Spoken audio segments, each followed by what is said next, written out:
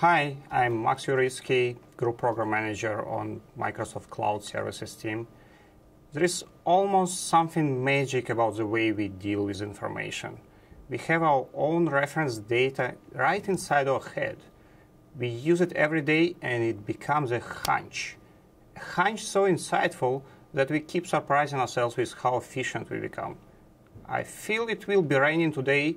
Oh, and well, it does. Knicks are going to win today. Wow, they did. Now imagine you're typed into a way larger database. Database containing all of the public and premium data, sports, real estate, federal, demographics, finance, points of interest, everything you could only dream about. Just imagine how good your hunch would become.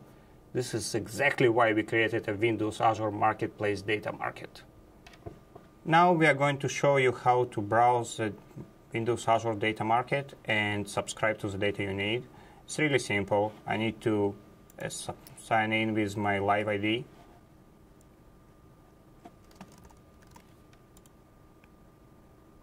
And simply explore the marketplace. I see a number of providers and few categories that can be used to find specific provider or dataset. Let's say I want to find this weather statistics so I can actually know if there's going to be rain today based on few years of statistics. So I can browse to the weather category and see specific uh, offerings related to weather. I can also go and look for stats data telling me if Knicks are going to win today.